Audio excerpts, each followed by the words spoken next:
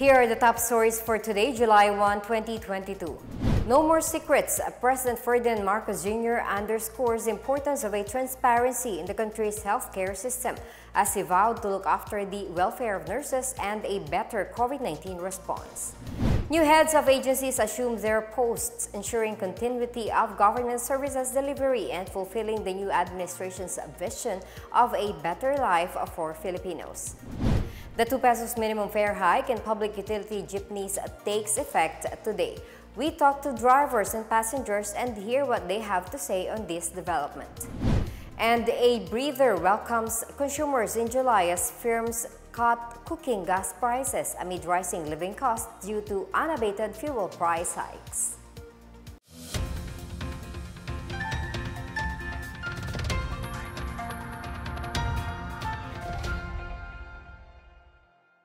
We start with President Ferdinand Marcos Jr.'s vow to help the country recover from the impact of COVID-19. He says the Philippines will no longer be caught off guard by the next pandemic, assuring that Filipino medical frontliners, whom he described as the best in the world, will be taken care of. In his inaugural speech, Marcos said he's confident that his administration will fix lapses in the COVID-19 pandemic response. He also ensured that the government will advance transparency in the healthcare system. Besides this, Marcos said his administration will see to it that nurses will experience change under his term. Our nurses are the best in the world. They acquitted themselves with the highest distinction abroad having suffered even the highest casualties. There will be changes. I am confident because I have an OPLE in my cabinet. There were shortcomings in the COVID response. We will fix them out in the open. No more secrets in public health. Metro Manila is leading the list of regions with the highest number of new cases according to the Octa Research Group. Octa Research Fellow Guido David said that based on data from the Department of Health as of June 30, the NCR had 672 new cases of COVID-19. Cavite is at second place with 85 cases, followed by Iloilo with 70. Aklan, Isabela, Misamis Oriental, Negros Occidental, and Tarlac are tied at the bottom with 9 new cases each. Meanwhile, Cavite had highest positivity rate with 13.2% on June 29 from 5.9% on June 25. This means 13.2% of those tested for COVID-19 are confirmed positive. First placer Metro Manila garnered a positivity rate of 7.5% on June 29 from 6% on June 25. Rizal Province, which had 11.9% positivity on June 25, dropped to 9.7 on June 29. Other local government units are on the lookout for a possible spike in COVID-19 cases. This as they continue to reiterate the need for vaccination, self-protection, and following health protocols. Here's our report. Agusan del Sur Governor Santiago Cane Jr. on Thursday placed the province under Alert Level 1 as transmissions of COVID-19 in the province declined.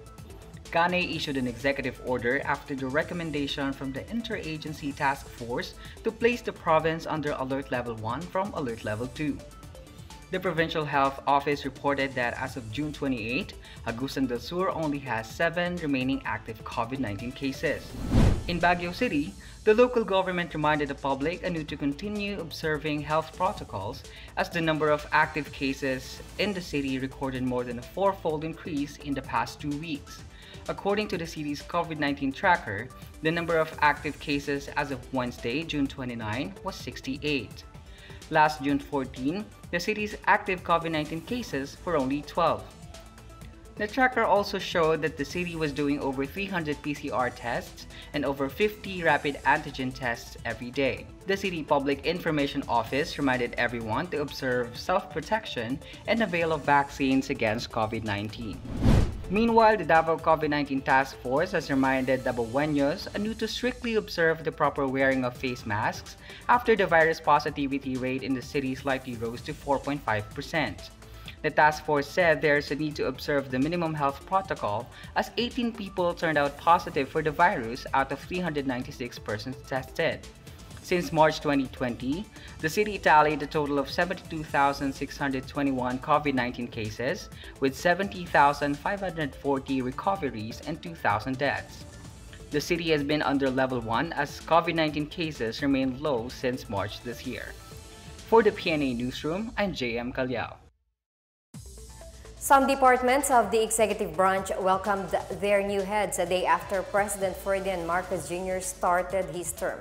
These officials serve as the president's alter ego and are expected to advance his development agenda in their respective agencies.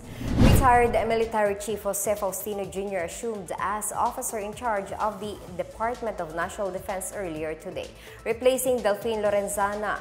He vowed to continue efforts led by Lorenzana aimed at defending the country's territorial sovereignty, as well as pursuing modernization efforts for the armed forces. He also thanked Lorenzana for his leadership that made the DND more responsive to various pressing challenges faced by the country. Faustino attended the rites virtually while under isolation after contracting COVID-19.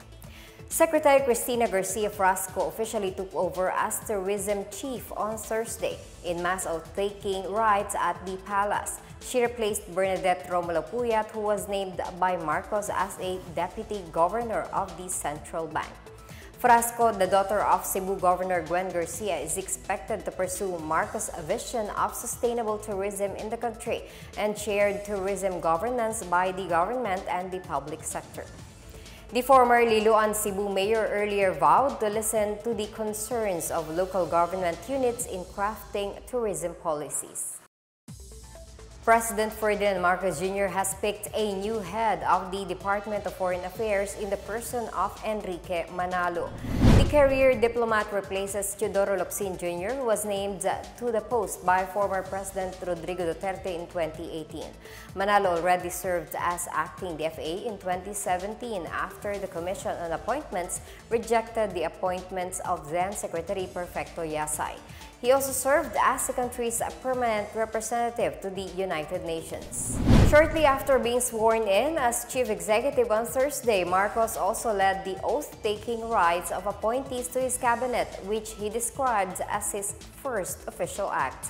At least 24 appointees to agencies under the executive branch and other cabinet-level posts were sworn in. The president will temporarily take over as concurrent Secretary of Agriculture. President Bongbong Marcos met with various foreign leaders and envoys as part of his first duties. Marcos said his administration is focused on keeping the Philippines' good relationship with countries it considers allies and partners. More on this from Will Bacelonia. President Ferdinand Bongbong Marcos Jr. renewed his commitment to further bolster the Philippines' relations with its allied countries. Marcos made a vow when he hosted a traditional vin d'honneur with diplomats at the National Museum of the Philippines, where his inauguration as the country's 17th president also took place. Marcos said the world's recovery from the COVID 19 pandemic will be more balanced and stable through continued cooperation among countries. He also emphasized the need to address climate change. Still believe that the transformation of the world economy and our recovery from the pandemic will be dependent on our partners and our allies. And it will be those partnerships that will strengthen that recovery, that will make a more balanced and stable new global environment for us to work in. Australia's Governor General David Hurley was the first foreign head of state that President Marcos Jr. met at the Malacanang Palace. The Governor General is also the highest level dignitary to attend Marcos' inauguration. The heads of state discussed their expanding cooperation in defense, development, trade, and people to people links. The Australian Embassy in Manila said the leaders also reiterated the two countries' commitment to peace, security, and prosperity in the Indo Pacific region. Marcos also sought to bring the Philippines' bilateral ties with China to a higher level. Marcos made a commitment during his meeting with Chinese Vice President Wang Qishan at the National Museum of Fine Arts. On the issue of South China Sea disputes between the two countries, Wang stressed the need to properly resolve differences and jointly safeguard peace and tranquility in the contested waters. In a separate statement, Chinese President Xi Jinping sent a congratulatory letter to Marcos vowing to continue the good relations with the Philippines. Apart from Wang, Thai Deputy Prime Minister Don Pramudwinai, Japanese Foreign Minister Yoshimasa Hayashi, Australian Governor General David Hurley, and United States Second Gentleman Douglas Craig Emhoff also paid a visit to Marcos at the National Museum of Fine Arts.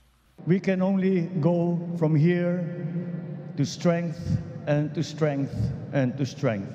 And for that, I, uh, uh, I, that is what I look forward to, that uh, the day will come when we can say that we have built upon the strong foundation that we came upon. For the PNA Newsroom, I'm Wilnard Bacelonia. Still ahead, passengers of jeepneys would have to shell out an additional 2 pesos as the fare hike in these vehicles starts today. And the central bank forecasts inflation to be between 5.7 to 6.5 percent due to skyrocketing oil prices. We'll be back after a quick break. Keep it here on the PNA Newsroom.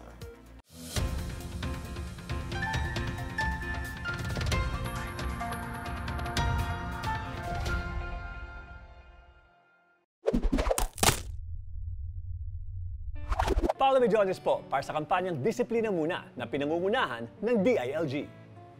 Bakit ba kailangan magparehistro sa pagpapabakuna laban sa COVID-19? Mahalaga magparehistro dahil ito ang unang step sa pagpapabakuna laban sa COVID-19. May tatlong pamamaraan upang makapagrehistro ang isang Pilipino na nais mabakunahan. Una, ang online registration sa inyong local government unit o LGU. Pangalawa, ang pagpunta sa mga vaccination centers at pagkuha ng registration form.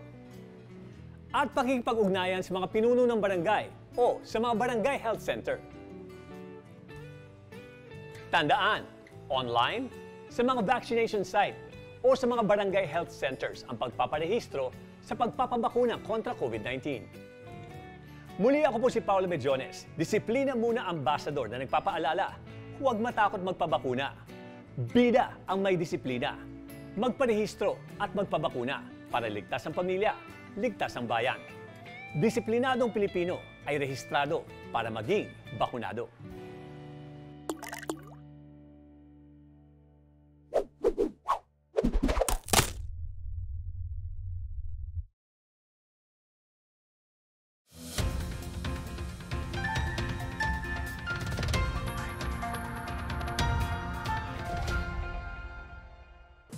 Commuters ought to tighten their belt even more as another fare hike takes effect today. Despite this, some jeepney drivers expressed an 11 peso minimum base fare is still not enough. Stephanie Sevillano reports. Just after the historic day in the country, commuters face yet another fare hike for the first day of July. 71-year-old commuter Imelda Matalang said she's surprised her short ride costs her 10 pesos even with a senior citizen discount in Quezon City. Okay lang naman po na matulungan sila, kaya lang parang mataas. Mataas na yung 11 pesos na pamasahe. Dapat 10 lang. And with the rising fuel prices, some parents admitted they are maintaining a strategy to keep their budget. Lang. Yun lang talaga. The best, tipid-tipid na lang.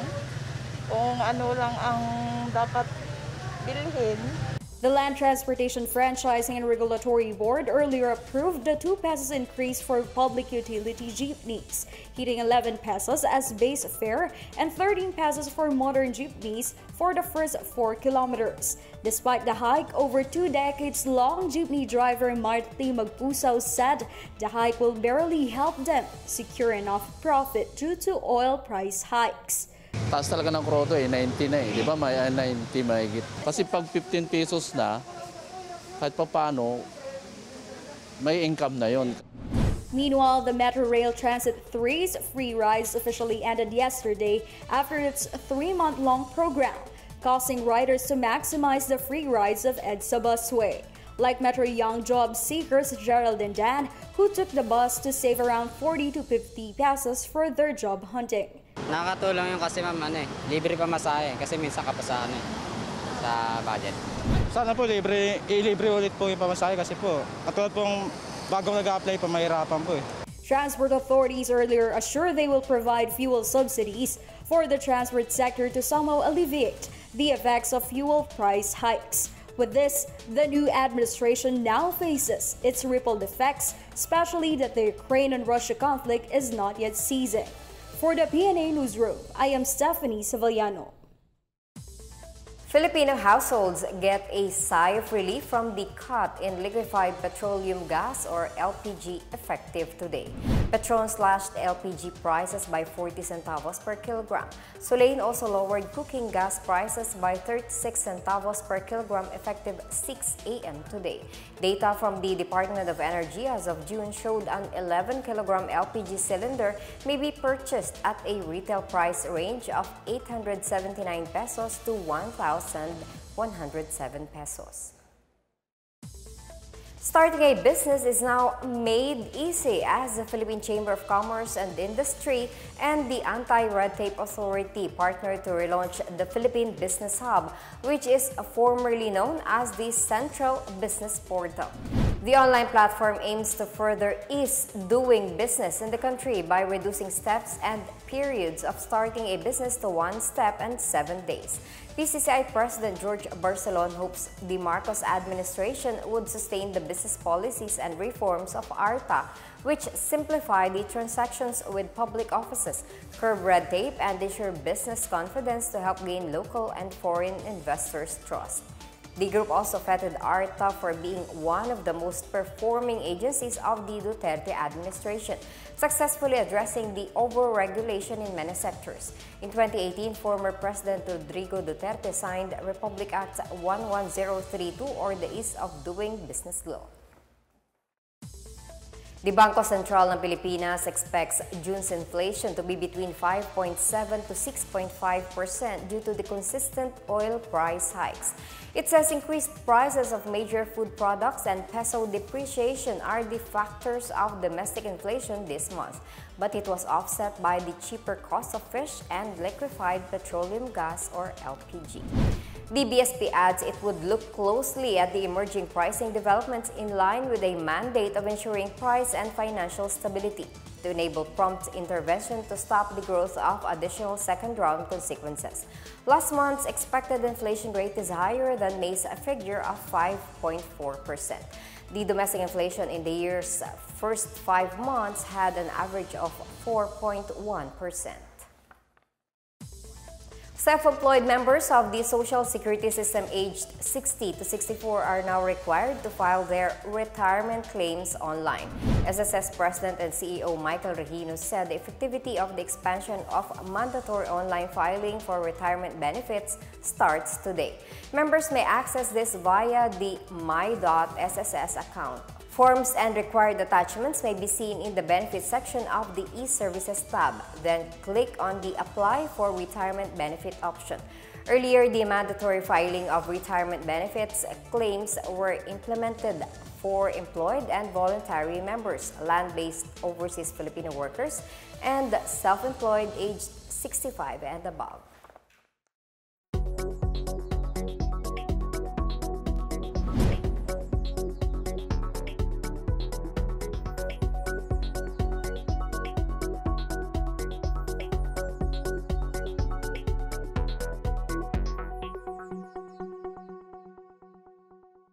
More stories from the newsroom. You are what you eat. Filipinos are reminded to eat healthy as the nation marks Nutrition Month. And a magnitude 6 quake jolts Cagayan. Details ahead. Stay with the PNA Newsroom.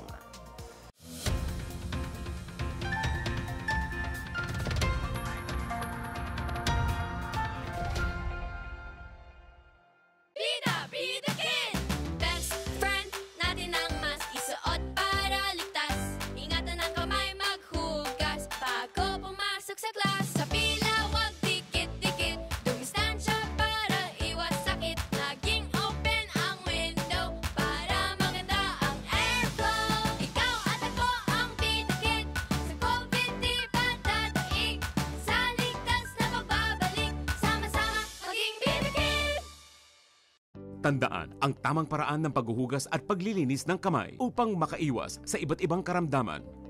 Basain ng tubig ang mga kamay at sabunin. Unang sabunin ang mga palad at ang likod ng mga kamay. Kuskusin na maigi ang pagitan ng mga daliri at maging ang mga kuko.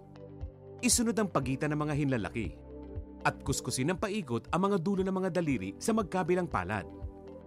Banlawang mabuti ang mga kamay sa malinis na tubig at patuyuin ang mga kamay gamit ang single-use towel o air dryer. Basta't sama-sama at laging handa, kaya natin to! Isang paalala mula sa DOH, PCOO, KBP at ng himpilang ito.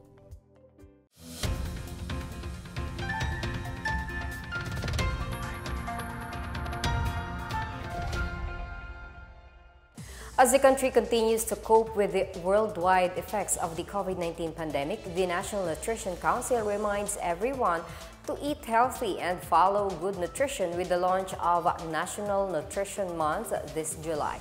This year's Nutrition Month theme is New Normal na Nutrisyon, sama-samang gawa ng solusyon. In a statement, the NNC said the pandemic disrupted the delivery of nutritional services, increased hunger incidents, and disrupted dieting and food production.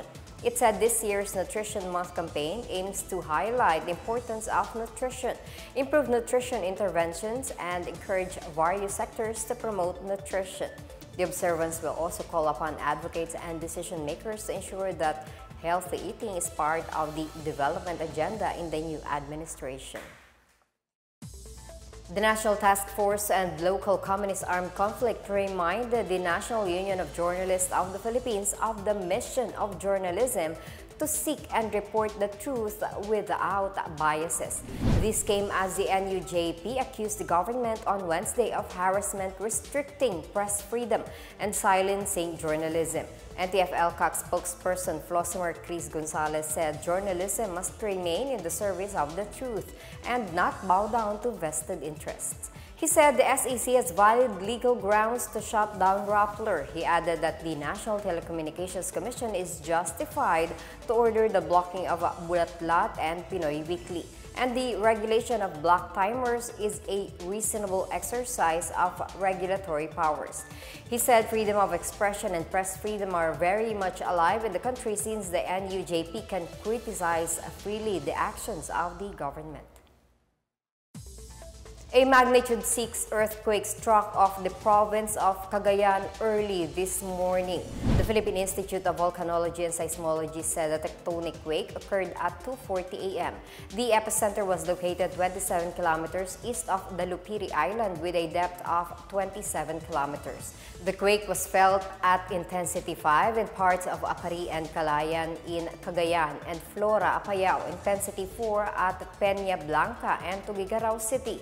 Cagayan, and intensity 3 in Vigan City and Sinait, Ilocos Sur. To address Marawi City's garbage issue amid its rehabilitation task force, Bangon Marawi and the Marawi LGU inaugurated a new sanitary landfill that will cater to the needs of the city.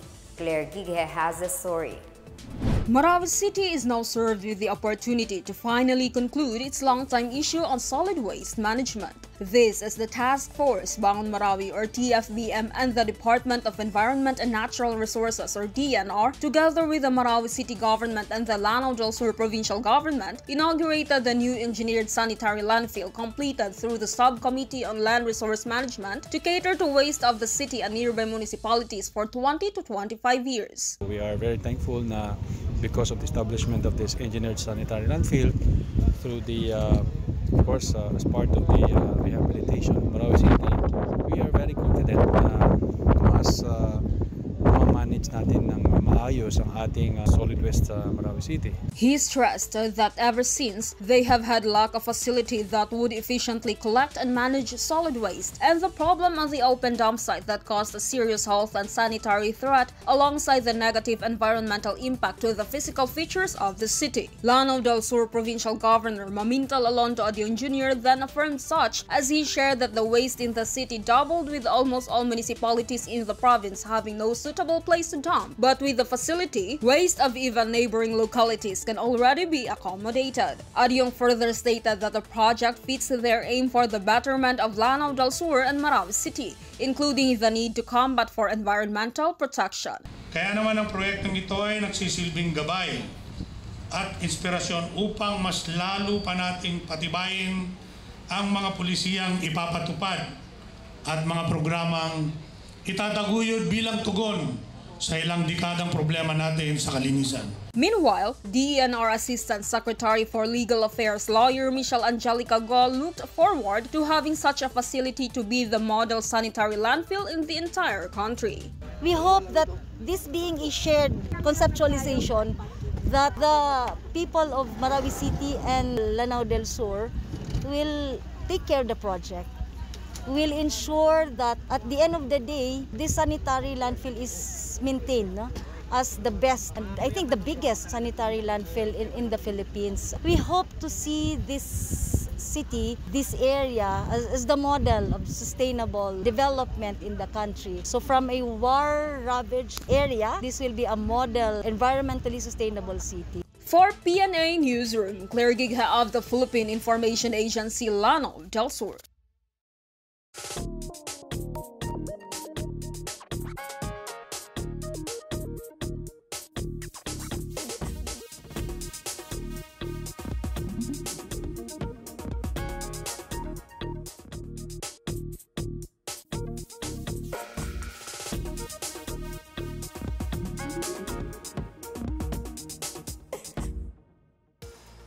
Let's take another look at today's biggest stories.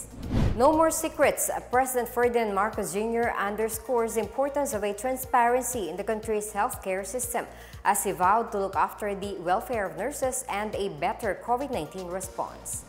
New heads of agencies assume their posts, ensuring continuity of government services delivery and fulfilling the new administration's vision of a better life for Filipinos. The 2 pesos minimum fare hike in public utility jeepneys takes effect today. We talk to drivers and passengers and hear what they have to say on this development. And a breather welcomes consumers in July as firms cut cooking gas prices amid rising living costs due to unabated fuel price hikes. As Filipinos, we all have a vital role to play in preventing the spread of COVID-19. So remember, Wear face masks and face shields. Wash your hands often. Practice safe physical distancing. Go out only for essential reasons. And get vaccinated as soon as possible to protect ourselves, our families, and the community. Together, we can beat COVID-19.